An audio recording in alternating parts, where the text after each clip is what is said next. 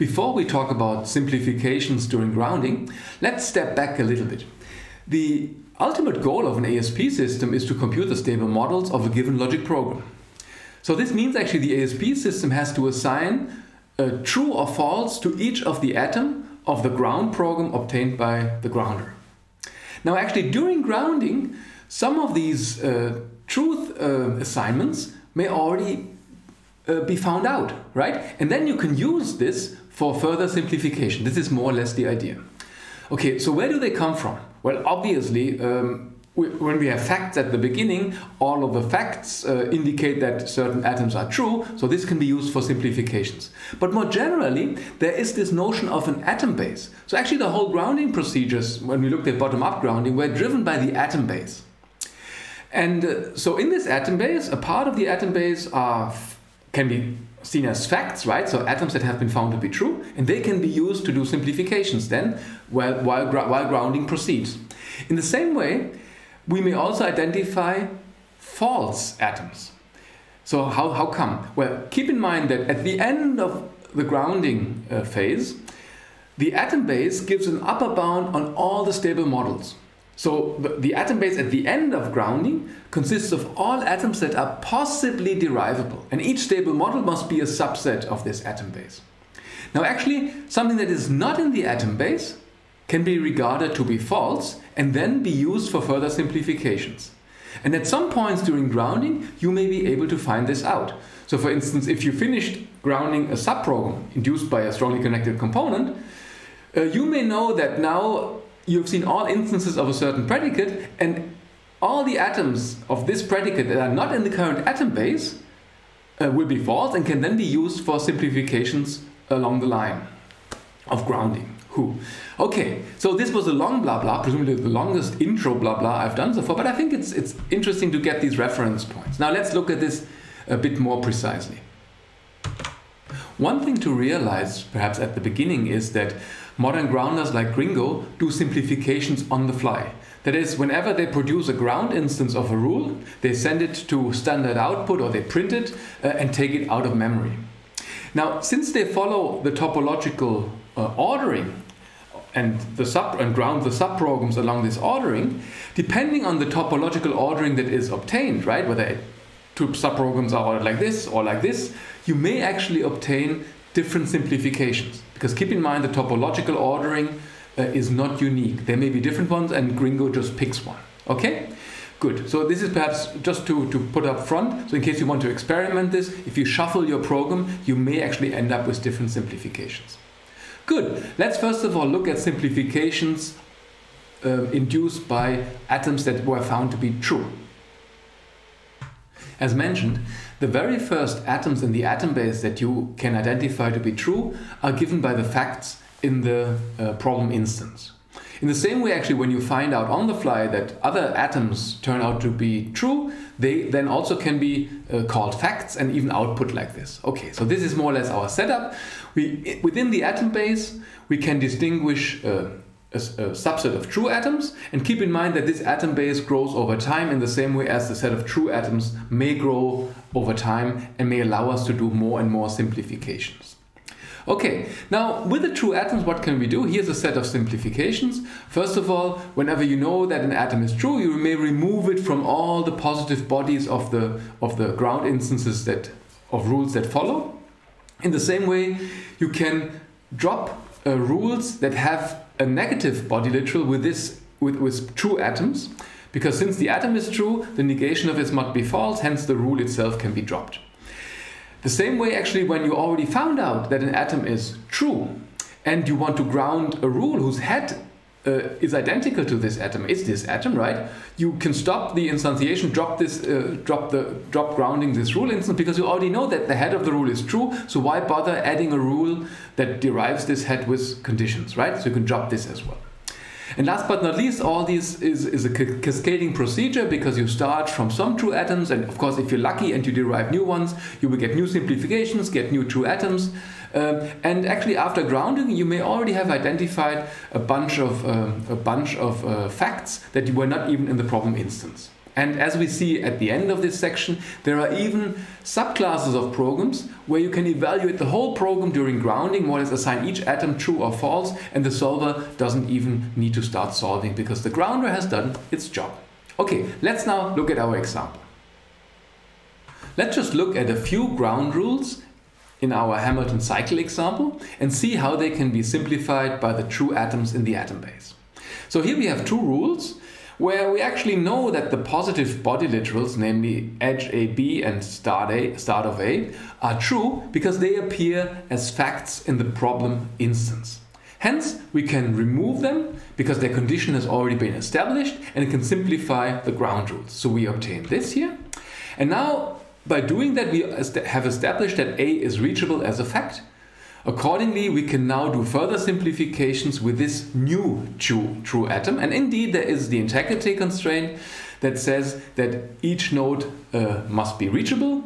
And hence, we can drop this integrity constraint since we know that A is reachable. Well, how does it work exactly? Well, again, reach of A has become true. Hence, this atom here is true. Hence, the negative literal is false. Uh, since the precondition uh, is now false, we can drop the integrity constraint, it has no effect, and we don't even have to ground it. It's not a constraint on our problem anymore, and we can drop it. Okay, so this I think gives you an, an, idea how simplifications work. Let's now look how simplifications can be done with atoms that have been found to be false. Recall from my lengthy introductory speech to this video that if grounding ends, we know that all atoms that are not in the atom base, that are in the complement, right, must be false. So the good news is that sometimes we can even determine this on the fly and then engage um, simplification since we know that certain atoms are false. Now, normally this is the case when you have seen all rules that may yield atoms with a certain predicates. When you've seen them, let's say they would all be in, the, in, a, in, a, in a component, in a subprogram, and then you know that all the instances that are possible with this predicate, they are in the atom base, some of them maybe have been found to be true, but in general they are just the possible atoms. And all of them that are not in this set must be false because there will be no there are no rules left that can produce instances of this predicate. And at that point we can engage simplifications because we know that certain atoms have been found out to be false. Right? And the first thing we can do is whenever we know that an atom is false because it does not belong to the current atom base and there are no rules of the corresponding predicates to be grounded afterwards, then we know that all negative body literals that contain this atom are true, because the atom is false, hence the negative body literal is true, and we can remove them from the rules.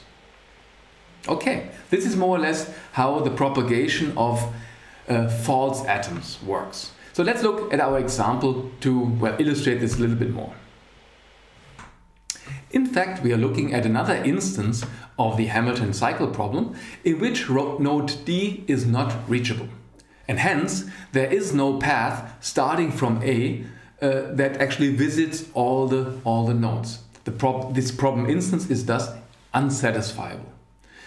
The question is, however, uh, can grounding find this out? Will actually the simplifications that we can do on the fly uh, be strong enough that, we, that the grounder can decide that the problem is unsatisfiable. Let's look at that. So here it is. Well, these are not all ground rules that we get for our problem instance, but I'd say the most interesting ones. Let's actually first look at these five here. These are all ground rules obtained for our rule that says an edge is on the path unless it has been omitted. So these the, the five heads here are actually in the atom base and they are possible atoms, right? None of them actually has been found to be true because they all still depend on other conditions, but they belong to the atom base, but these are the only ones of predicate path. So all other instances, like for instance, the instance that there is a path from D to C, or from D to A, or from D to B, or from B to A, right? They cannot be derived. There is no rule that allows you to derive it. Hence, these atoms must be false and can be used for further simplifications. And this is more or less all, once that we have seen all ground instances with head of the path predicate, this is known and we can use then all instances of predicate paths that are not in the atom base at that point once we have ground once we have ground all rules of this form uh, to simplify negative body literals and this is actually happening now with the reach predicate. Okay. In the same way as with the path predicate at that point we know at this point that these are all rules that have the predicate or atoms with predicate reach in their head. There's of course reach reach of a which is a fact uh, because we, we, we have simplified it in that way because you may remember from before that since A is a starting node, this, this has been found to be true and hence the rule has been reduced to effect. There is one rule that allows us to derive reach of B provided we can we can derive a path of AB, and there are two possibilities to derive a, a reach of C depending on the preconditions here. But that's it. So at that point, actually, we know that only reach of A, by reach of A will be true, but, but reach of B and reach of C might be derivable, but reach of D is not obtainable. There's no rule that would give us reach of D. Now let's just sort this out again. So we have the atom base, and in the atom base we have one instance that is true, and this is reach of A. And this has already been used for simplifications. We've seen this before. Look, there is no integrity constraint that says it cannot be the case that node A is not reachable. This integrity constraint has been simplified because reach of A is true. Okay, now, okay, atom base, reach of A is among the true atoms of the atom base. Reach of B and reach of C, these are possible atoms. And this is all we can add to our atom base, and everything that is not in the atom base, all instances of predicate reaches that are not in the atom base, must be false. And this is reach of D. So at that point, actually, we know that reach of D is false. And in the same, oh, or in, in the in the let's say complementary way, as we use the fact that reach of A is true, and we were able to eliminate the integrity constraint, something else happens here with this guy. Okay, one step at a time. So we know that reach of D is false. So this guy here is false, reach of D is false, hence not reach of D is true, and we can simplify uh, the, the condition of the integrity constraints. But now there are no conditions left, and this, the empty integrity constraints, indicates an inconsistency. The grounder may stop and say, look, I already found it out, I solved your problem, don't bother the, the solver, your problem is inconsistent. I guess this is a cute little example, but of course it's a lucky strike, right? It's, it's rarely the case that the grounder can find out that your problem is inconsistent, but on the other hand, there are uh, logic programs that can always be completely evaluated by the grounder, and these are the guys we look at next. So stay tuned. Stratified logic programs constitute a class of logic programs that can be completely evaluated by the grounder.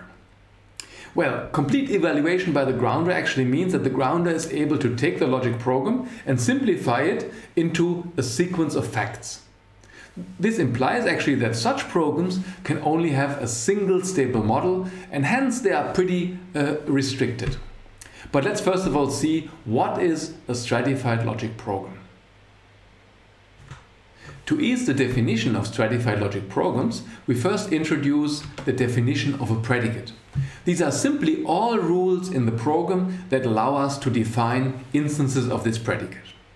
Now with this we can define when a logic program is stratified. And this is the case whenever a program can be partitioned into a sequence of subprograms that satisfy three conditions. Now the first one simply says that the definition of each predicate must belong to a single subprogram, while the last two actually enforce uh, restrictions on the dependencies among rules. Now the first one simply says if a predicate occurs positively uh, in a rule in subprogram pi, then the definition of this predicate here cannot be done in a later subprogram. It must have been done in the same or an earlier subprogram. Now, the last condition is more or less uh, analogous, but a bit more restrictive. It says that a predicate occurring negatively in, in a rule in program PI must have been defined before in an earlier component. And this is now in a really strictly earlier component. It cannot be, of course, in a later one or the same. It must be have been defined before. Now the question is, how come that these rules guarantee that a grounder can evaluate a stratified logic program right away? Well, the simple but perhaps not so obvious answer is that these three conditions allow the grounder to partition the set of instances of a predicate after grounding each component into the true and the false instances of this predicate. And imagine once you have this, then the, for the next uh, component, you can actually evaluate all negative occurrences. So once you have done that, once you have eliminated all negative occurrences, either by eliminating the negative literals or the, the rules, then you have a positive program. And then we know from the beginning uh, that a positive program has a, unique set of consequences, a unique stable model. And in this way, actually, you guarantee that you always de keep deciding more or less the instances of, of predicates and compute in the end a single stable model uh, of a stratified logic program. Okay, I know that this was perhaps a short uh, explanation, but to, to, to see it yourself a little bit, just proceed inductively. Think what happens in the very in the very first component when grounding this, what properties you get, more or less the ones that I hopefully explained, and then uh, try to do an inductive argument to convince yourself that this is the case. Well, just to wrap up again, so stratified logic programs allow us to uh, completely evaluate uh, uh a stratified program during grounding and well, then of course, what, what needs needs to be the case is that, that these guys actually have a single stable model because these are the facts that are obtained by the grounder in the end. Well, this was actually quite a lengthy definition of stratified logic programs, but I believe that if you work out a little bit why these, what these conditions here enforce, you will learn a lot about the grounding uh, procedures and how, how, how things work and when things can be simplified or not. Because to be honest, there's a very short definition of stratified logic programs, which is a logic program is stratified if its dependency graph has no cycles containing negative edges. But well, at least I could not derive an intuition from this property here that would explain to me why stratified logic programs are completely evaluated during grounding. Hence, I gave you the lengthy definition to unfold a little bit the structure of stratified logic program and enlighten you uh, hopefully, about why they have these nice features. Okay, that's it then for uh, simplifications. Next, we will look at rule instantiation.